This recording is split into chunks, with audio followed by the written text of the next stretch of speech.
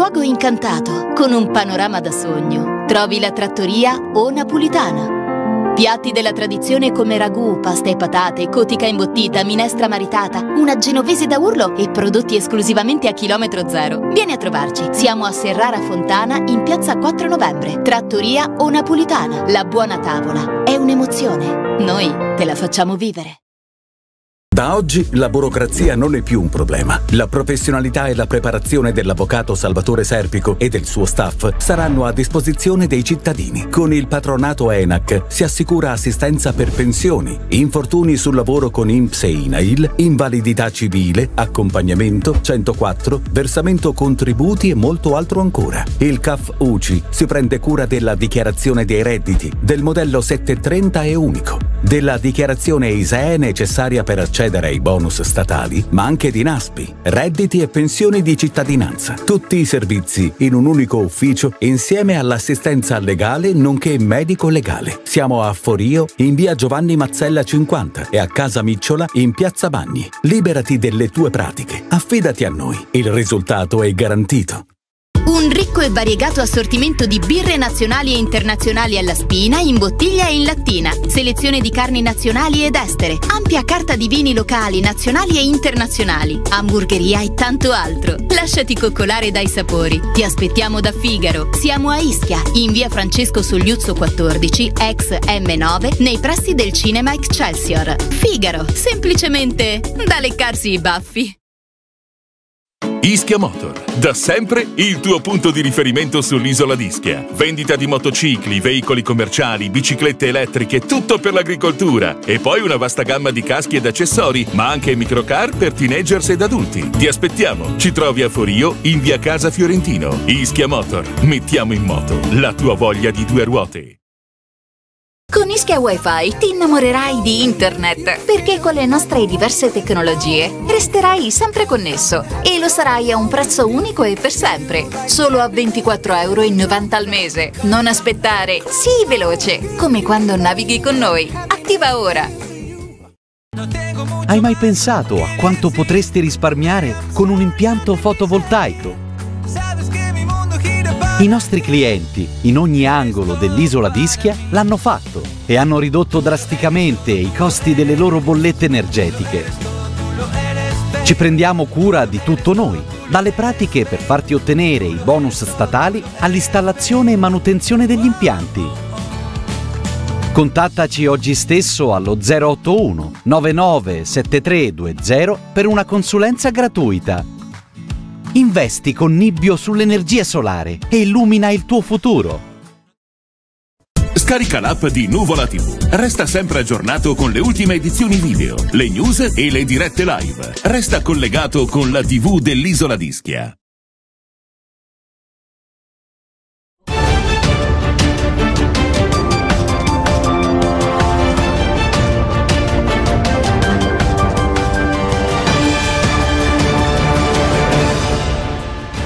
Clima, un rapporto racconta Ischia nel 2050, presentato oggi pomeriggio ai Giardini Ravino lo studio elaborato dalla Banca Europea degli Investimenti, teso anche a favorire una ricostruzione climaticamente sostenibile dopo le calamità del 2017 e del 2022.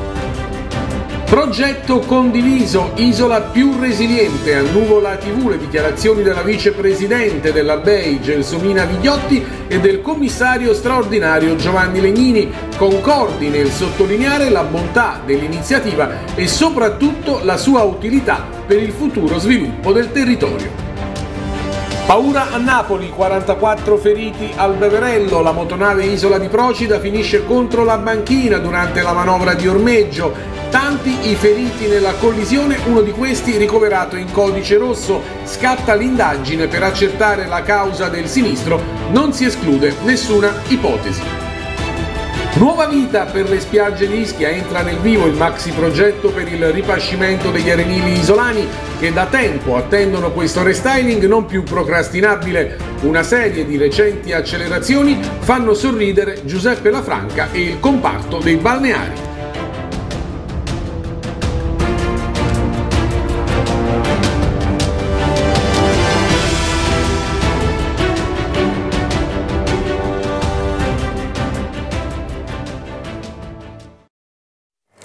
Buonasera ai telespettatori di Nuvola TV, edizione di venerdì 19 aprile del nostro giornale. Come i cambiamenti climatici trasformeranno Ischia nel 2050? Uno studio utile a pianificare anche una ricostruzione sostenibile dopo le calamità che hanno sconvolto in particolare Casamicciola Terme nel 2017-2022. Oggi pomeriggio presentato il rapporto della Banca Europea degli investimenti a Forio presso i Giardini Ravino. I dettagli nel servizio di apertura. Come cambierà il clima sull'isola di Ischia da qui al 2050 e in che modo la pianificazione degli interventi post-calamità potrà essere orientata con adeguamenti capaci di contenere rischi e vulnerabilità determinati proprio dalle sfide ambientali? Le risposte sono contenute in uno studio innovativo che la Banca Europea per gli investimenti ha elaborato gratuitamente e presentato oggi nel corso di un'iniziativa promossa dalla vicepresidente della BEI Gelsomina Vigliotti e dal commissario straordinario Giovanni Legnini, tenutasi nel Parco Botanico Giardini Ravino a Forio.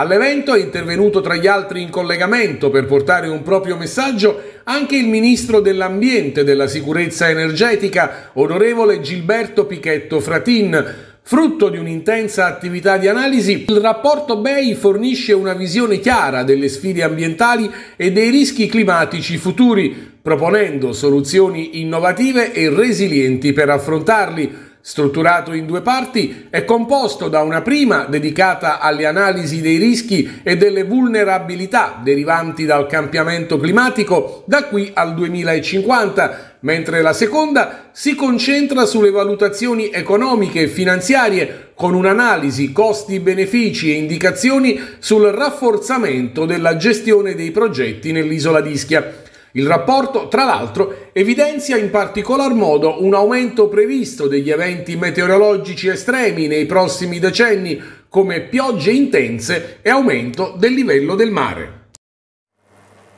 Restiamo in argomento perché ai nostri microfoni la vicepresidente della Banca Europea degli Investimenti, Gelsomina Vigliotti, sottolinea la bontà dell'iniziativa, rimarcando il fatto che il progetto sia stato condiviso da tutti gli attori e le parti in causa. Ascoltiamola. Per noi questo è un modello, è un modello perché prima di decidere un finanziamento vogliamo capire dal punto di vista tecnico quali sono gli interventi necessari eh, qual è il possibile impatto del, dei cambiamenti climatici eh, su questo territorio.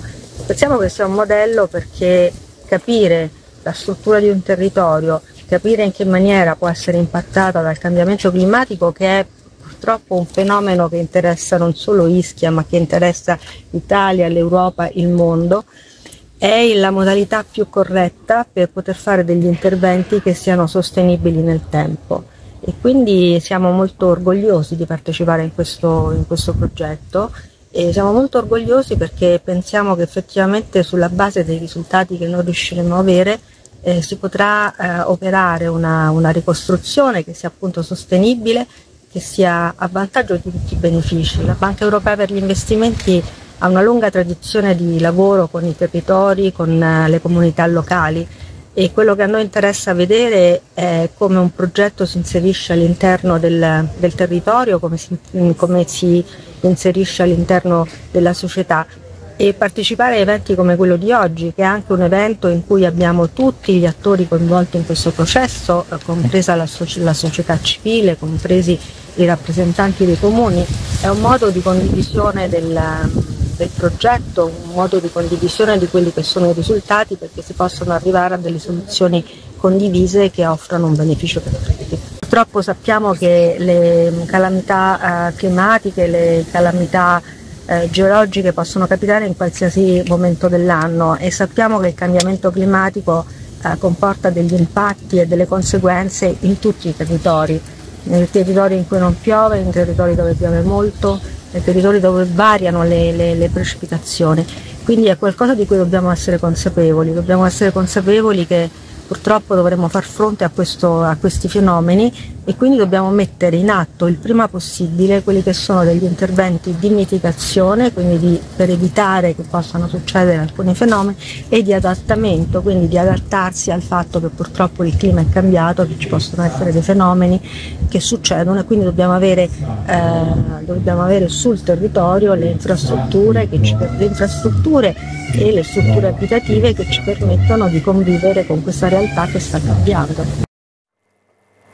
Ovviamente soddisfatto dello studio portato avanti dalla Banca Europea degli Investimenti anche il commissario straordinario Giovanni Legnini che parla di un territorio, quello isolano, pronto ad essere più resiliente. La, la Banca Europea degli Investimenti la vicepresidente Vigliotti che ringrazio insieme a tutto il team e gli scienziati incaricati dalla BEI oggi ci consegnano questo rapporto che contiene gli elementi di analisi le previsioni fino al 2050 legate al cambiamento climatico e le indicazioni da osservare per rendere il territorio più sicuro, più resiliente. Non si tratta di diffondere allarmismi, al contrario, si tratta di tener conto con realismo di ciò che eh, potrà accadere nei prossimi decenni, di soprattutto di fare in modo che i progetti e, le, la, e i lavori riguardanti la messa in sicurezza e la ricostruzione tengano conto di questi elementi. L'opera di adattamento al cambiamento climatico inizia, per quel che riguarda questo territorio, dagli interventi della ricostruzione. Ecco, questa è la novità, è una novità importante, è la prima volta in una ricostruzione post catastrofe naturale che si introduce questo criterio, quello dell'adattamento al cambiamento climatico. Questa sera ovviamente per chi ci segue venerdì 19 aprile nuovo appuntamento con il format di approfondimento di Nuvola TV Ultimo Round, tema della puntata in onda in diretta alle 21 e poi in replica alle ore 23 perché il commercio è in crisi. Ospiti in trasmissione il sindaco di Forio Stani Verde, il vicepresidente di Ischia Ismor Lino Sgambati, il presidente di Confesercenti Ischia Francesco Pezzullo e il vicepresidente nazionale di Confesercenti Vincenzo Lorenzo Schiavo. E adesso torniamo alla cronaca, momenti di panico e paura, quelli che si sono vissuti questa mattina a Napoli presso il, lo scalo del Molo Beverello, quando la nave veloce Isola di Procida della compagnia di navigazione Caremar, partita da Capri, ha urtato una banchina durante le operazioni di ormeggio, il servizio. Sarà l'analisi della scatola nera a chiarire la dinamica dell'incidente al Molo Beverello a Napoli, dove in mattinata di oggi la nave veloce Isola di Procida ha urtato con violenza la banchina durante la manovra di ormeggio. 44 i feriti nell'impatto, Tanta la paura a bordo, momenti di concitazione nelle fasi successive allo scontro prima dell'arrivo dei soccorsi. I passeggeri erano già quasi tutti in piedi e pronti a sbarcare quando la nave ha impattato contro il molo. In tanti sono caduti, alcuni anche dalle scale finendo nel pianerottolo. I soccorsi sono arrivati presto al Beverello. Sono confluite diverse ambulanze, alla fine si registrano 44 feriti. Tra coloro che sono stati trasportati con ambulanze e quelli che vi si sono recati con mezzi propri, sei le persone arrivate al Cardarelli, due al San Paolo, 13 all'ospedale del Mare, 5 al CTO, 3 al Fate Bene Fratelli, 3 a Villa Betania e 12 al Pellegrini. Sono tutti, secondo quanto si apprende, in codice verde o giallo. Un ferito era stato ricoverato in codice rosso all'ospedale del mare, ma le sue condizioni sono migliorate ed è passato in codice giallo. Ero in cima alle scale, in prima fila davanti a tutti gli altri passeggeri mentre la nave si avvicinava alla banchina per ormeggiare. Poi all'improvviso sono precipitato giù e mi sono ritrovato sul pianerottolo. Per fortuna non ho battuto la testa, ma solo un polpaccio e una spalla, racconta Salvatore, uno dei passeggeri feriti. Ancora scossa dalla brutta esperienza una turista italiana originaria del nord Italia, racconta ai cronisti. Una botta fortissima. Ho preso un colpo violento al volto, ho visto tante persone cadere a terra, eravamo stati a Capri, una vacanza in questi giorni, non avrei mai potuto immaginare questa conclusione del nostro viaggio. I dati del Voyage Data Recorder della scatola nera aiuteranno l'autorità marittima a stabilire se la causa dell'incidente sia stato un guasto tecnico, come ritiene la compagnia di navigazione, un errore umano o se la colpa sia una forte raffica di vento Ad occuparsi delle indagini è l'unità investigativa della Guardia Costiera che presenterà i risultati raccolti al Dipartimento per la sicurezza della navigazione e alla Procura di Napoli. Sul luogo dell'incidente è intervenuto anche l'ammiraglio ispettore Pietro Giuseppe Vella, direttore marittimo della Campania, che ha coordinato le attività di assistenza ai passeggeri ed anche i primi accertamenti. La nave intanto resta ormeggiata al Molo Beverello a disposizione della Guardia Costiera e del Registro Navale Italiana con le conseguenze conseguenze dell'urto ben visibili. Nel comune di Barano sono in atto una serie di interventi di riqualificazione del territorio, in special modo nella zona dei Maronti. Abbiamo analizzato la situazione attuale dello stato dell'arte con il sindaco del comune collinare Dionigi Gaudioso, con una particolare attenzione sulla pericolosità di un nuovo tratto di costone della spiaggia, ma anche sulla veste rinnovata che sta assumendo la zona balneare. Sindaco Gaudioso, la spiaggia dei Maronti presenta delle criticità e in particolare nel tratto di spiaggia che va dalla gondola a Cavascura e quindi con apposita ordinanza è stato interdetto il transito. Sì, purtroppo abbiamo avuto una frana eh, nel mese di fine febbraio eh, dove ha creato problemi, si è rotto un costone e io già sto interloquendo con la regione eh, mi auguro prima possibile di intervenire per eh, consentire, visto che adesso c'è la spiaggia, a tutti di poter eh, passeggiare anche alle attività, perché chiaramente là può creare problemi a tutta la zona di Cavascura e anche agli alberghi che stanno avanti. Mi auguro di risolvere il problema prima possibile. Ecco, per quanto riguarda la strada di accesso giù alla spiaggia, abbiamo notato che sono dei lavori in corso di riqualificazione del territorio.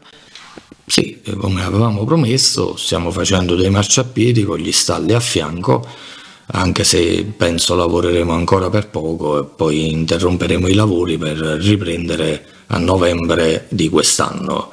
Credo che sta cambiando look la spiaggia, cioè la strada dei Maronti, eh, già eh, nel passato quando abbiamo fatto il primo belvedere con le aiuole già è cambiato qualcosa. Adesso stiamo cercando di dare sicurezza ai cittadini eh, visto che prima si camminava in mezzo alla strada, quindi il marciapiede forse non sarà neanche grande, ma almeno c'è un marciapiede per far camminare il più possibile i pedoni. Adesso era sempre occupato dalle macchine, è inutile che eh, diciamo che c'era un marciapiede largo, ma il marciapiede non veniva mai utilizzato dai pedoni, non era possibile, quindi questa è la verità. Credo che adesso eh, anche esteticamente è più bello, ma penso che i pedoni lo possono anche utilizzare. Ecco, ed è notizia di qualche giorno fa che si apre ufficialmente la stagione degli eventi proprio in Piazza dei Maronti che diventa, si riconferma teatro naturale dopo il concerto che ha chiuso l'estate. Sì, noi inizieremo con uh, questo evento importante, Fine, uh, questo c'è stato uh, appunto eh, dato dalla Regione Campania, finanziato dalla Regione Campania, e poi faremo qualche altro evento intorno al mese di maggio, inizio giugno, per poi farlo a settembre, perché poi durante l'estate ci saranno altri eventi sia in Pineta e anche altre attività, quindi noi non vogliamo assolutamente danneggiare eh, le nostre attività, ma vogliamo cercare di implementare nella bassa stagione e non nell'alta stagione. Nell'alta stagione quindi non faremo noi eventi, ma li faranno penso i privati, già abbiamo degli accordi. Restiamo più o meno in argomento perché prosegue il progetto di ripascimento degli arenili dell'isola d'Ischia che come ricorderanno i nostri più attenti telespettatori vede il comune di Lacqua Meno quale capofila. Ai nostri microfoni l'esponente della eh, categoria dei balneari di FIBA Confesercenti, vale a dire Giuseppe Lafranca, ci spiega tutti i dettagli, o meglio lo fa al microfono di Elena Mazzilla. Giuseppe Lafranca, la FIBA Confesercenti ha comunicato che finalmente dopo varie sollecitazioni è stato affidato il ripascimento delle spiagge isolane. È stato affidato, salve a tutti, è stato affidato la progettazione del ripascimento. Noi questa è una questione che stiamo già da diversi anni che stiamo sollecitando e nel 2017 era operativa questa situazione. Eh, una, quindi doveva essere affidato tra tutti sono i, eh, gli enti che richiedono sono i sei comuni con l'amministrazione con i fondi regionali e quindi su questo è stata affidata la progettazione. Purtroppo ci vorranno altri sei mesi, però già è una cosa che abbiamo sbloccato la situazione che stava creando dei problemi. Da un anno era tutto bloccato, quindi su questa questione stiamo vedendo di risolvere la situazione. Allora, logicamente il ripascimento degli aree nidi non si farà come è stato fatto ai Maronti all'epoca senza un'adeguata protezione di scogliere, perché senza una protezione di scogliere frangifrutti eh, non serve a niente il ripascimento, quindi è palliativo, perché basta una mareggiata, si è dimostrato anche a Ostia, che è stato il capofila dei ripascimenti in Italia, eh, della spiaggia, e in sei mesi la spiaggia è diminuita. Ma con le ultime mareggiate che stanno facendo le mareggiate invernali, ogni anno le mareggiate ogni anno diventano sempre più forti. Quindi se non c'è un'adeguata protezione di scogliere frangifrutte emerse e non soffolte, non servono a niente altre situazioni. Sono soldi buttati a mare. Noi come stabilimenti balneari abbiamo offerto pure la nostra collaborazione a contribuire a fare eh, tipo col consorzio Unione eh, già da diversi anni abbiamo richiesto e non ci è stato concesso fino adesso anche perché il posto spiaggia è importante. Proprio in questa problematica con la Bolgestein con uh, con il rilascio delle concessioni demaniali e altre situazioni, noi vogliamo mettere a disposizione della cittadinanza e dei turismi e offrire nostro, la nostra forza.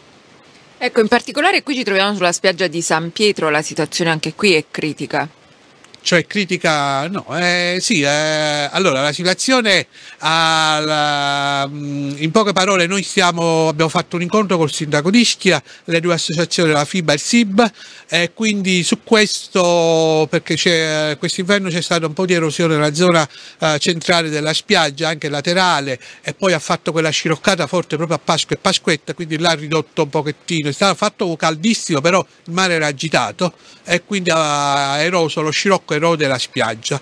E quindi su questo abbiamo presentato un'istanza per la richiesta di autorizzazione, del rinnovo dell'autorizzazione per lo spostamento della spiaggia con pale meccaniche al fine di risistemare le spiagge erose su questa situazione. Siamo in attesa dell'autorizzazione del sindaco e poi vorremmo iniziare quanto più verso metà maggio, almeno così quando il tempo si assesta, perché ecco qua la situazione è, noi abbiamo fatto quel sabato e domenica troppo caldo, temperatura, noi stavamo tutti, noi eravamo chiusi, stabilimenti balneari, però stavano, stavano la gente, stavano a mare, tutti quanti, troppo caldo, quindi non va quindi è previsto alcuni alberghi aprono il 24 e il 25 molti stabilimenti balneari apriranno ma molti apriranno inizi di maggio il 5-6 maggio anche per uh, rifinire la sistemazione con la pulizia delle spiagge e altre situazioni.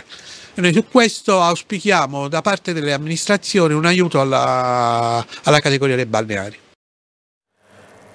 con una nota ufficiale il liceo Buchner di Ischia comunica l'avvenuto scambio interculturale con studenti provenienti da diversi paesi internazionali. Nello specifico si legge nella mattinata del 9 aprile una piccola delegazione di studenti provenienti da Thailandia, Cile, Messico, Serbia, Germania, Turchia, Giappone e Argentina in Italia, grazie a Intercultura, hanno ha incontrato scusate, alcuni studenti delle classi seconde del liceo. È stato un evento eccezionale e un'occasione di scambio culturale che ha reso la scuola ombelico del mondo per un giorno. Gli ospiti stranieri hanno animato un laboratorio linguistico con i nostri liceali e hanno poi partecipato a un workshop nel laboratorio artistico con la professoressa Luisa Caccavale. Siamo orgogliosi, conclude la nota del plesso ischitano di aggiungere che una nostra studentessa di una quarta scientifico, Leda Ismaili, vincitrice di borsa di studio Intercultura, è in Argentina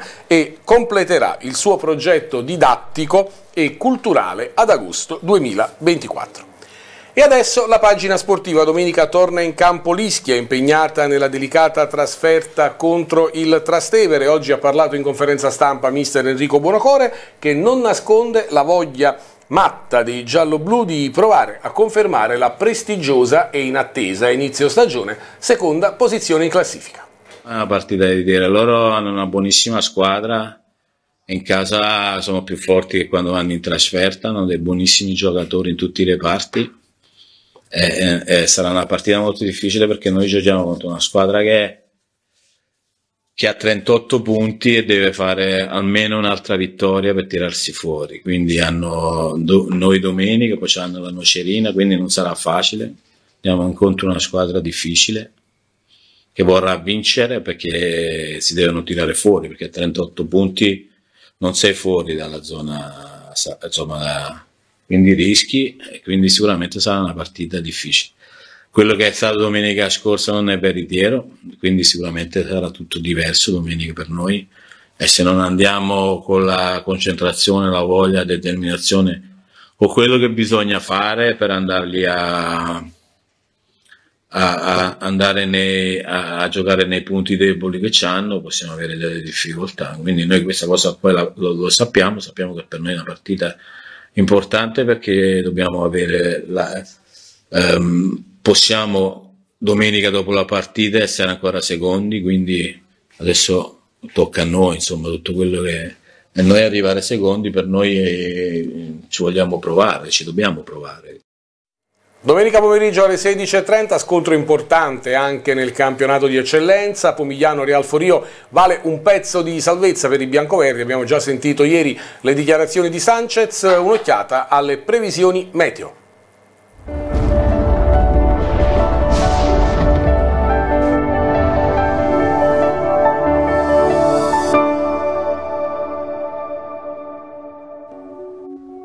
Ben ritrovati amici del Centro Meteo Italiano.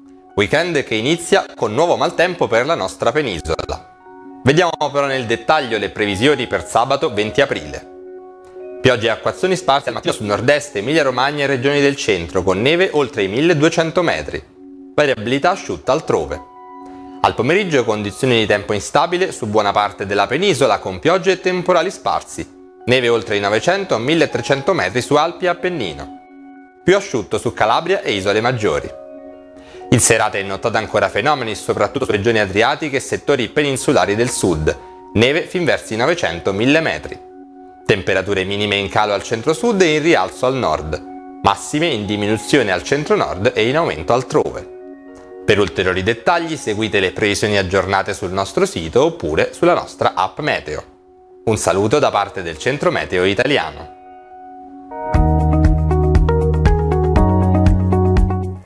È tutto per questa edizione del nostro telegiornale che torna lunedì sempre alle 20.30, sempre in diretta e sempre sul canale 80 del digitale terrestre. Continuate a seguirci anche in questo weekend, ultimo round il venerdì, Piazza Pontone il sabato, la Santa Messa in diretta alle 9.30 la domenica e poi insomma tanta tanta tanta roba. Il palinsesto è consultabile sul nostro portale nuvola.tv, sulla nostra pagina Facebook. Grazie per essere stati con noi e arrivederci.